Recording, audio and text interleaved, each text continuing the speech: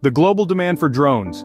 Have you ever pondered about the soaring global demand for drones, especially in recent wars? The advent of drones has revolutionized the domain of warfare. These machines minimize human risk and enhance strategic planning. Incredibly cost-effective, drones are now a crucial part of military worldwide. The perfect illustration is the TB2 TB2 drone from Baykar, a Turkish firm. Proving its mettle in recent conflicts, TB2 is now used by 30 countries. Its popularity is indicative of changing warfare dynamics.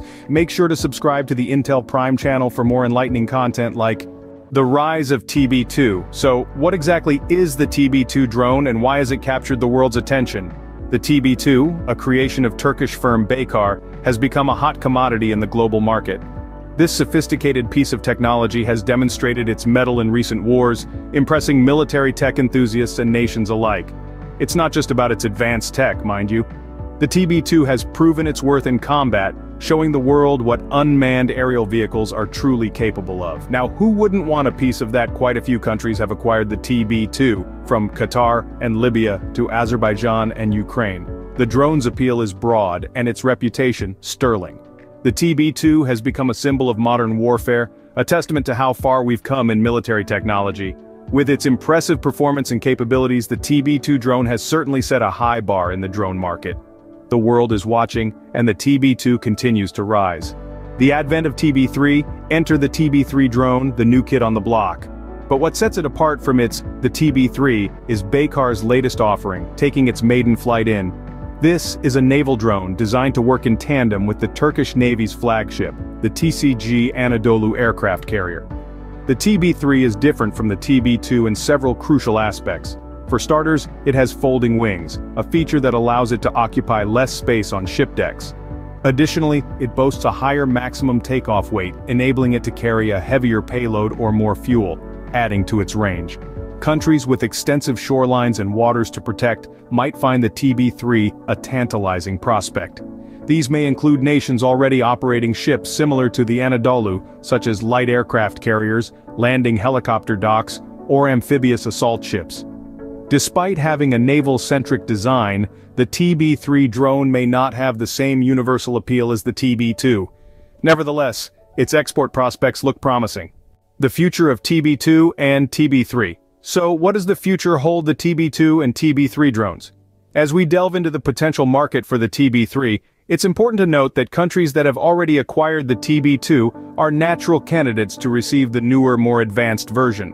This group includes countries like Qatar, Libya, Azerbaijan and Ukraine. Nations with extensive coastlines and waters to defend, and those operating ships similar to the Anadolu, such as light aircraft carriers, landing helicopter docks or amphibious assault ships, may well want the TB3 for their navies. Countries from East Asia, NATO members and EU members, especially those located near China and Russia, such as Japan, Korea, Malaysia, Indonesia, Kazakhstan, Romania and others, might see the TB3 as an attractive addition to their naval forces. The TB3 is also likely to be a great fit for Japan's Izumo-class platforms, as suggested by Haluk Bayraktar, CEO of Defense. Turkey is not just looking to export the TB3, but also has ambitions to expand its defense exports to include drone carriers.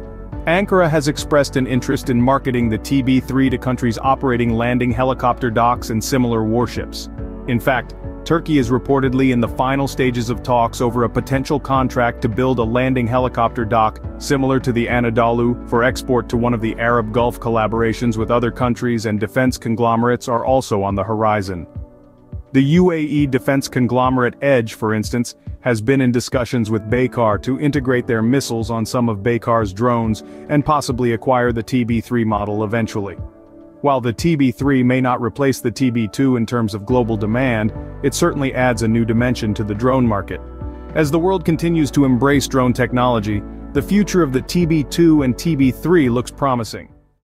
Join Intel Prime channel membership today and get access to exclusive benefits, including early access to new videos, exclusive discounts on Intel products, behind the scenes content, live chat with me and other members. Other options will be soon available. Thank you for your support and for helping Intel Prime grow.